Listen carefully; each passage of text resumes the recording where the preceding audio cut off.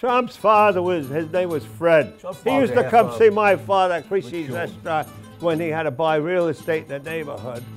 Trump's father owned half of Williamsburg. Okay, His you- real estate was make there. You it makes you a smart man. He's a real estate broker. Tell He was tell him- tell him hanging out with the wise guys in Crisci's and Bamontes. They looked for advice because my father was an advisor about uh, uh, legalized casino gambling.